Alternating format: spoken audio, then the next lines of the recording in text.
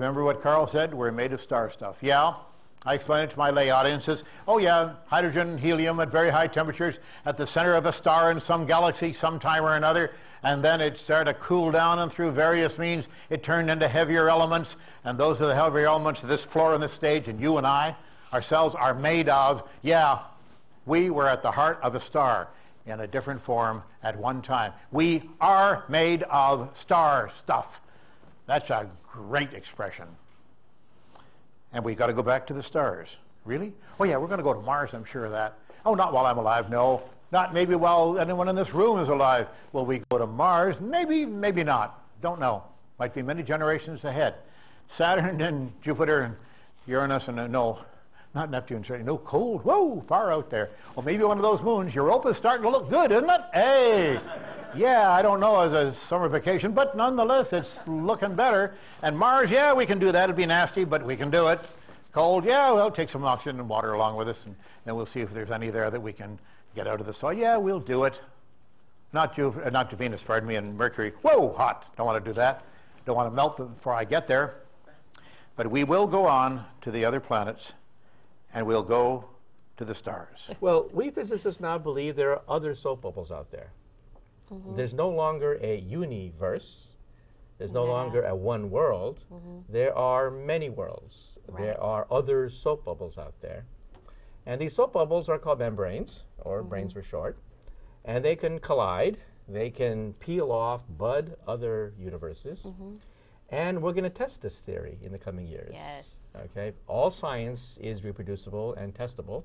That mm-hmm. separates us from religion, which is not reproducible right. and not testable. Mm-hmm. In 2014, uh, NASA will launch a satellite, LISA, L for laser, which will detect vibrations from the Big Bang itself. Now, we have taken baby pictures of the Big Bang. Mm-hmm. Some people don't believe in the Big Bang theory, but that's okay. It's a free country. We have photographs of it. We can photograph the electromagnetic shock wave, the explosion. They're gorgeous photographs. They're on nasa.gov, on the website of mm-hmm. NASA. But that picture of the Big Bang is from 300,000 years after creation, when atoms begin to condense. We want to get it at the instant right. of creation itself.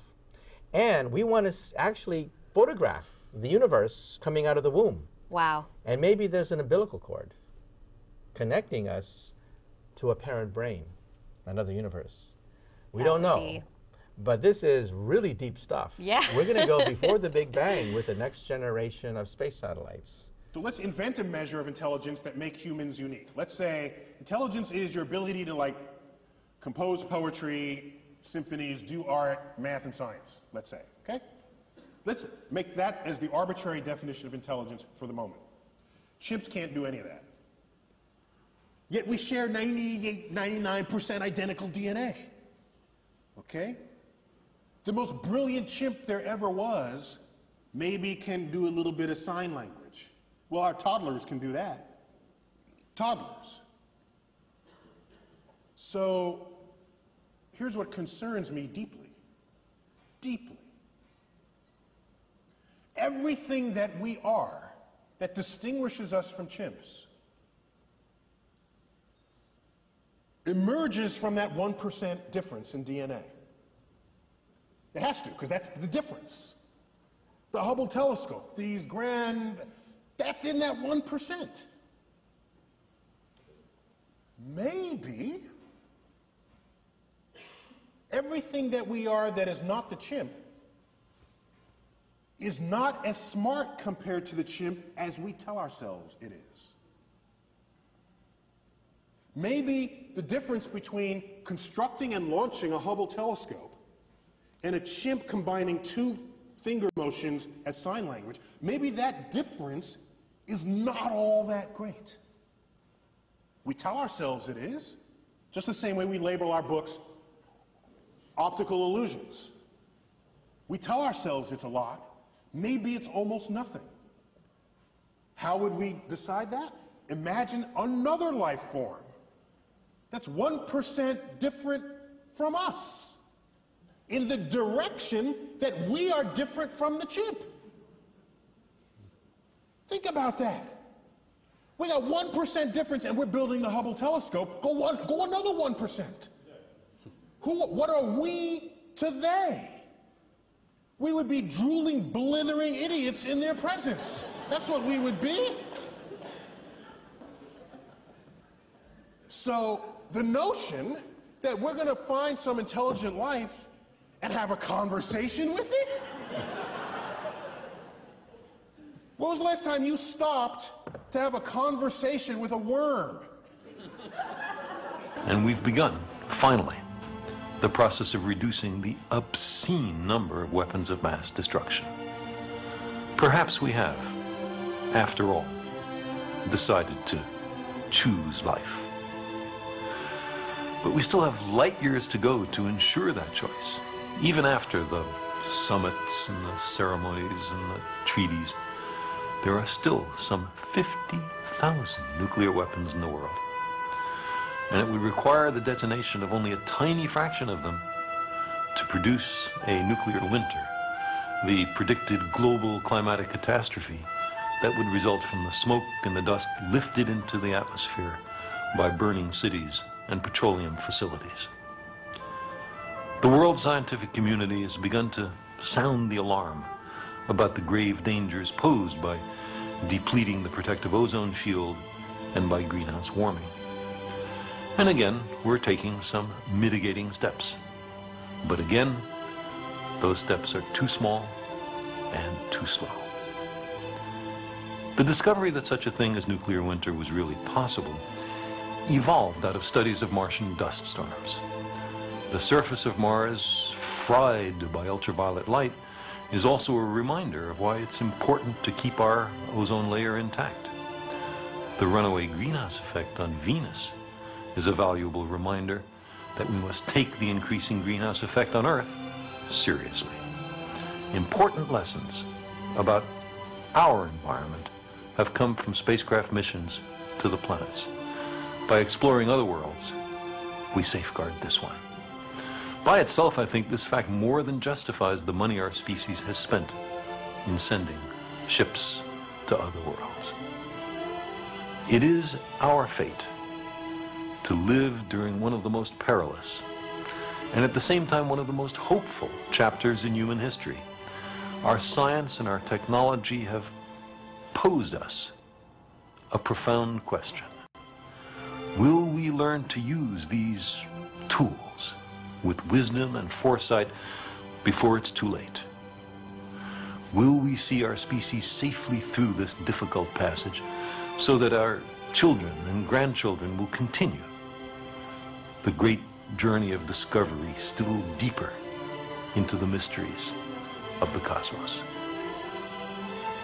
That same rocket and nuclear and computer technology that sends our ships past the farthest known planet can also be used to destroy our global civilization.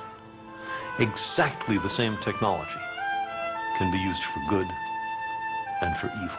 The wonderful questions about what we are, where we're going, what the meaning of the universe is, and so on, then I think you could easily become disillusioned and then look for some mystic answer to these problems. We're exploring, we're trying to find out as much as we can about the world. People say to me, are you looking for the ultimate uh, laws of physics? No, I'm not. I'm just looking to find out more about the world. And if it turns out there is a simple ultimate law that explains everything, so be it. That would be very nice to discover. If it turns out it's like an onion with millions of layers and we're just sick and tired of looking at the layers, then that's the way it is. But whatever way it comes out, its nature is there and she's going to come out the way she is. And therefore, when we go to investigate it, we shouldn't pre-decide what it is we're trying to do except to find out more about it. And so altogether, I can't believe the special stories that have been made up about our relationship to the universe at large because they seem to be too local, too provincial. The earth, he came to the earth. One of the aspects of God came to the earth, mind you. And look at what's out there. How can? It isn't in proportion. It also, another thing, uh, has to do with the question of how do you find out if something's true? And if you have all these theories of, of the different religions, have all different theories about the thing, then you begin to wonder. Once you start doubting, which I think is, to me is a very fundamental part of my soul is to doubt and to ask. And when you doubt and ask, it gets a little harder to believe. I can live with doubt and uncertainty and not knowing. I think it's much more interesting to live not knowing than to have answers which might be wrong. I have approximate answers and possible beliefs and different degrees of certainty about different things, but I'm not absolutely sure of anything, and there are many things I don't know anything about. But I don't have to know an answer. I don't have I don't feel frightened by not knowing things.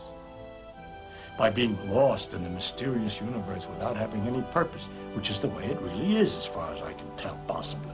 It doesn't frighten me. We are going to die, and that makes us the lucky ones. Most people are never going to die because they're never going to be born.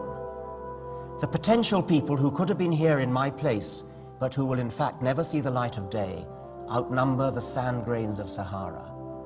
Certainly those unborn ghosts include greater poets than Keats, scientists greater than Newton. We know this because the set of possible people allowed by our DNA so massively outnumbers the set of actual people. In the teeth of these stupefying odds, it is you and I, in our ordinariness, that are here. We privileged few who won the lottery of birth against all odds. How dare we whine at our inevitable return to that prior state from which the vast majority have never stirred?